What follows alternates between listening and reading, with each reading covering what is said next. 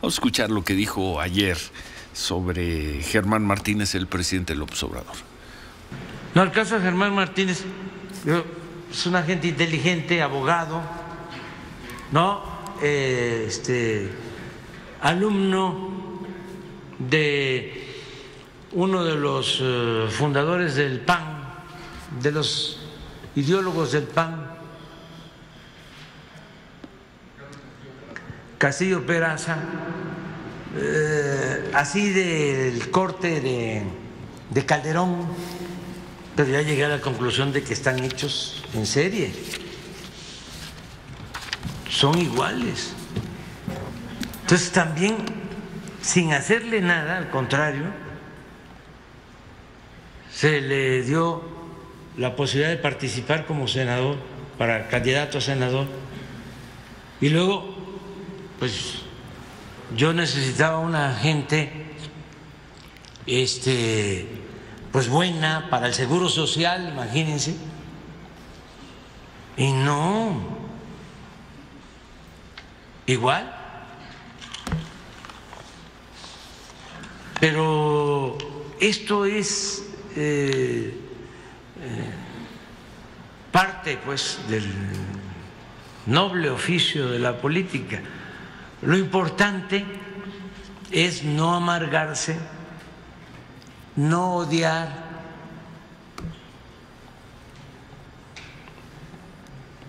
eh, entender que es la condición humana y que en política suele pasar. No es siempre así, pero suele pasar que los amigos son de mentira y los enemigos de verdad. Bueno, puede ser toda una pieza para el análisis, sobre todo esa frase donde dice, yo necesitaba gente buena para el IMSS y no igual.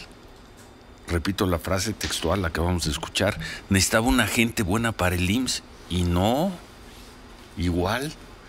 ¿Qué quiso decir? Pues es el punto que no quiso decir nada, ¿no? Bueno, Germán Martínez. Lo importante es no amargarse. tiene razón el, presidente y, yo acudo a mi filósofo de cabecera para no amargarme, su majestad Marco Antonio Solís. Yo no puedo remediar el sufrimiento que ha causado esta separación, presidente. Y la canción se llama El peor de mis fracasos. Usted se equivocó, yo también me equivoqué. Yo me equivoqué, como muchos mexicanos, pensé que iba a haber menos pobres. ¿Usted se equivocó, presidente? Sí, si creía que yo iba a ser un agachón, un lambiscón. No. Soy senador de la República. Y la República somos todos. Soy senador de la República y la República está en contra del gobierno de un solo hombre. Me invitó a ser senador de la República. Y qué bueno, al paso del tiempo, no fue del IMSS también al paso del tiempo, qué bueno que no le acepté la Fiscalía General de la República, que fue lo primero que me invitó, porque habría muchos dolores de cabeza en la cárcel de sus cercanos. Uy. Bueno, bueno. ¿Algo más, senador? Todo en orden, Ciro, tranquilos. No, En eso tiene razón. Pues, no hay que amargarse. Sí, sí, sí, sí.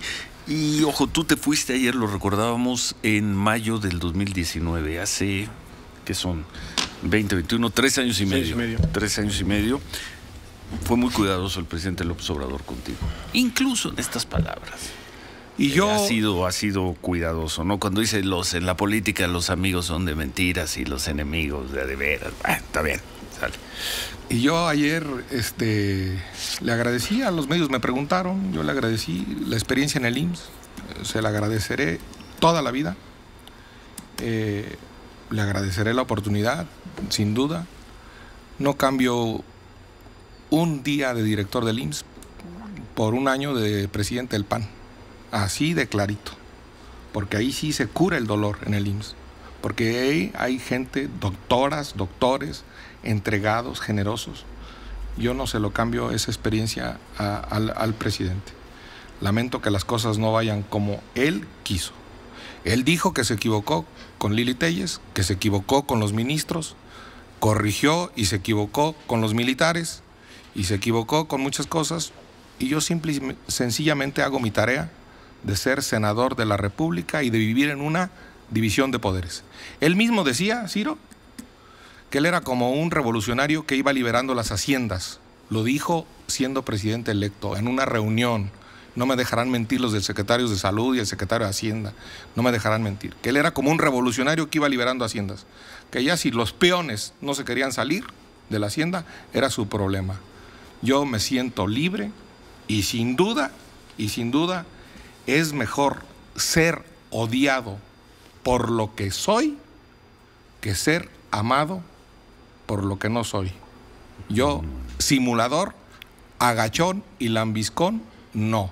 Si eso quería conmigo, le hubiera preguntado a Calderón, ya ve, por no hablar con Calderón, presidente. Dice que son, que son iguales. Oye, y recuerdo, porque tu salida coincidió con el estreno de la película del Guasón, Joker, y cómo defendías tú, bueno, cómo criticabas el recorte de recursos, cómo se estaba afectando al proyecto de IMSS Bienestar, y cómo nos dijiste aquí, el guasón se vuelve un criminal cuando le quitan a él o a su mamá. Sí, claro. el IMSS Bienestar. La atención médica, claro. Recuerdo, esa fue una frase tuya, creo que fue tu primera frase cuando ya regresaste como colaborador de, eh, de nosotros.